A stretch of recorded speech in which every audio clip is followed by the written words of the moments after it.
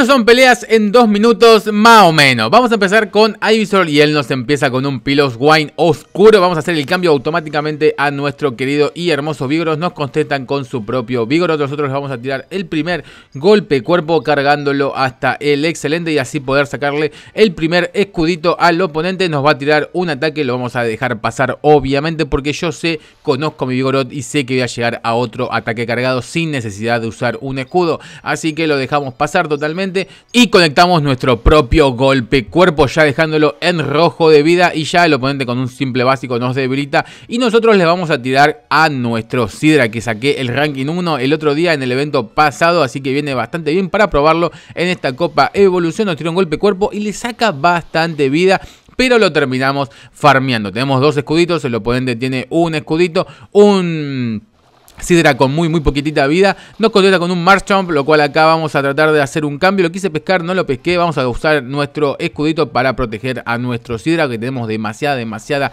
energía en él, y vamos acá a pescarle una bomba fango con nuestro Ivysaur, si bien el oponente se va a tardar un poquito en hacer el cambio, le vamos a poder recibir el oponente va a poder recibir un básico extra. Nos, responde con el Pilos Wine. Acá nosotros medio que me la dudo si lo uso o no lo uso. Lo tengo que usar sí o sí. Gente, recuerden que estamos muy cerca de llegar a una hidrobomba con el Sidra. Le tiramos un un Vine Whip, creo que es esto en español, el latigazo, en español, perdón, en el latigazo. Le tiramos el latigazo, lo dejamos ahí ya muy, muy, muy tocado a rango de farmeo, diría yo. Lo bueno, el Pilos Wine usó su, su, energía para debilitarme a mi Ivysaur cuando bien lo pudo haber debilitado a básicos. Y acá lo único que tenemos que hacer es tirar una hidrobomba a ese Marstorm y ya está. GG para tu casita.